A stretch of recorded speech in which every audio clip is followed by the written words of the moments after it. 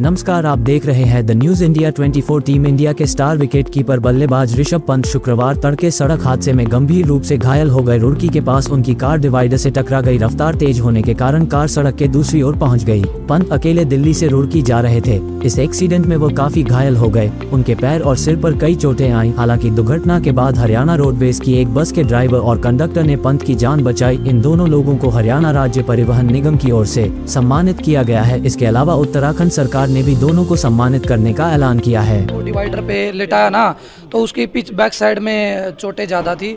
हमने उसको छाती के बल लेटा दिया था।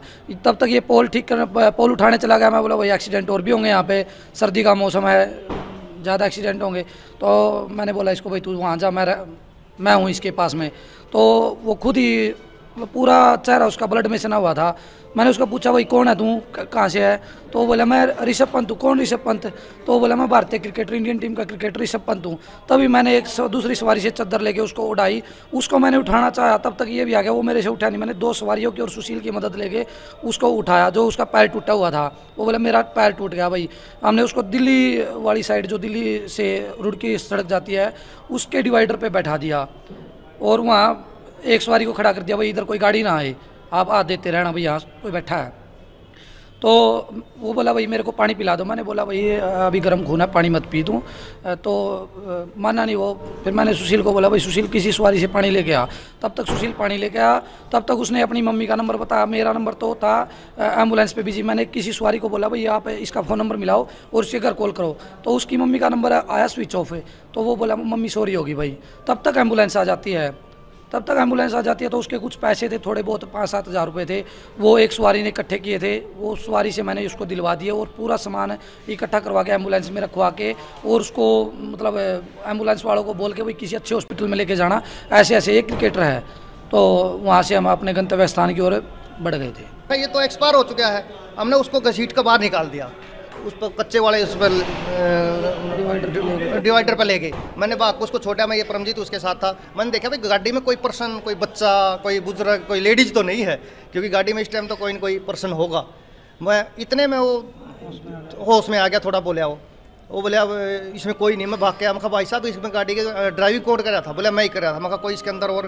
बोला कोई नहीं। मैंने उस पर विश्वास नहीं किया। मैं कोई बात नहीं नया सा एक्सीडेंट कैसे हुआ? तो हाँ, उसने बताया कि मेरी थोड़ी आँख की झपकी लगी तो मैं फिर आपको पता था ये कौन है? नहीं नहीं हमें नहीं पता था। हमें नहीं पता था। सर इसके बारे में। हम तो एक आम इंसान है हम इंसानियत का परिचय देते हुए हम तो उसकी वो कर रहे हेल्प कर रहे थे। कल भी कोई खतरे में नहीं थे चोटें हैं उनको दो तीन जगह पे किंतु गंभीर प्रवृत्ति की नहीं है। जो है इस दुर्घटना के बारे में बाद में मेरे पास एक कॉल आई। और हमने फिर कंट्रोल रूम से अपने से भी वेरीफाई किया। तो जो एक हरियाणा रोडवेज़ के ड्राइवर थे सुशील और उनके कंडक्टर थे परमजीत।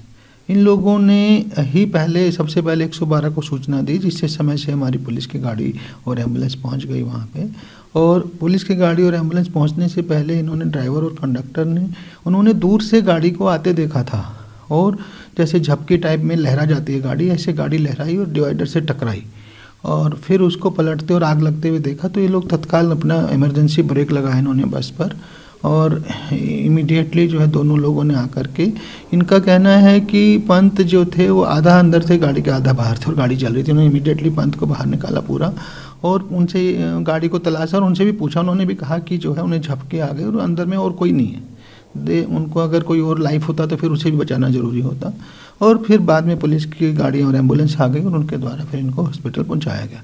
तो हम लोगों ने निर्णय लिया है कि इनको भी सुशील को भी और परमजीत को भी गुड स्मार्टन स्कीम के अंतर्गत जो है इनको रिवार्डेड कराया जाएगा सम्मानित किया जाएगा। अ, बाकी समय से सहायता मिलने से जो है उनको कोई और कई बार क्या होता है एक तो बर्न इंजरी हो सकती थी क्योंकि अगर वो गाड़ी में रह जाते तो गाड़ी तो पूरी जल गई जैसा आपने देखा। या कई बार दूसरी गाड़ी कोई ओवर ओवर स्पीड कर रही होती है और उसके नीचे आदमी आ जाता है इस तरह से तो ओवरऑल सेकेंडरी इंजरी नहीं हुई उसे। इस स्थिति क्या है? इस बिल्कुल अच्छे हैं वो नॉर्मल है।